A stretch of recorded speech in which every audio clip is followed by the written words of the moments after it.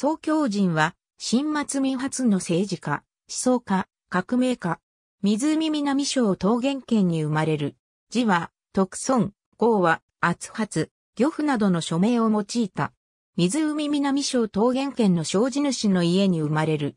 幼少より私塾で学び、1900年には生院の資格を得る。1903年に高校と知り合った後は、廃満革命思想に目覚め、高校、陳天からと共に花協会を創設し、副会長に選出された。1904年、生体校の誕生日に合わせ放棄計画を立てるが、新朝当局に露見し、計画は失敗、同年末日本に亡命する。日本亡命期間中は1905年6月に、法政大学法政則成科に入学、雑誌、20世紀の品を発行する。1905年7月、宮崎当店により、孫文を紹介され、1905年8月には関東派の甲中会、石膏派の幸福会、湖南派の花協会が合併して、同盟会が成立する。12月、文部省の新国留学生取締規則に抗議して、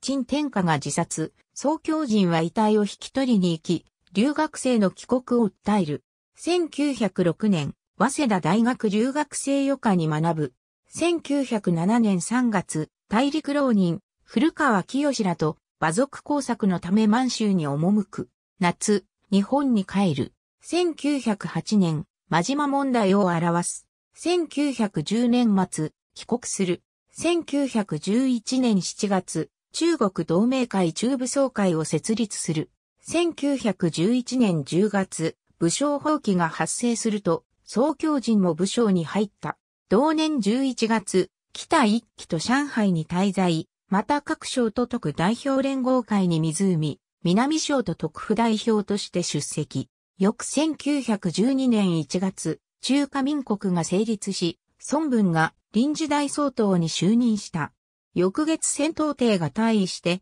新朝が滅亡。さらに翌月、孫文に代わって前政権の実力者であり、大きな軍事力を持つ遠征外が臨時大総統に就任した。しかし、遠は彼を大総統につかしめた革命勢力を好まず、インフラ整備などの近代化政策を自らの手で強権的に進めようとした。宋は最高権力者が先権を振るう状況よりも、議員内閣制に基づいた法による統治、大総統の権限を制限することが中国を安定させしめると考えた。そこで革命組織を改組して国民党を組織、事実上の党首として活躍、同年12月の選挙では圧勝した。この間、遠征外は宋の怪獣を図るが、ことごとく失敗した。豪を煮やした縁は資格を放ち、1913年3月、上海駅等で宋を射殺した。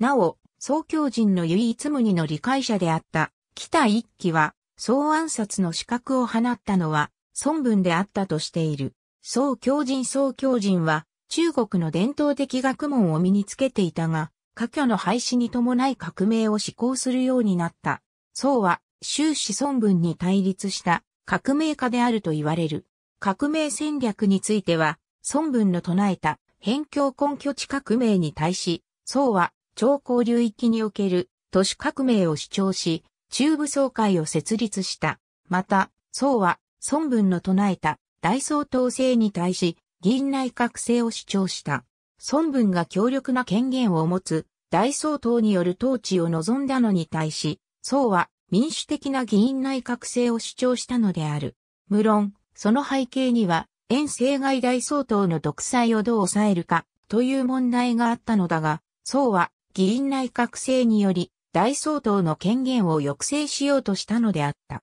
そしてこの法をもって対立するという態度が遠征外に恐れられ、ついには暗殺されるに至った。実際、民国初期の段階で政治的主導権を握ったのは孫文派ではなく宋教人であった。このように孫文と対立し、また孫文が軍事力で遠征外に対決しようとしたのに対し、宋は法をもって対決しようとしたことから妥協的であると言われ、革命右派と呼ばれ、中国では批判されてきた。しかし1970年代以後、日本でも総強人研究が進み、現在では現実的な愛国者であると評価されるようになってきた。ありがとうございます。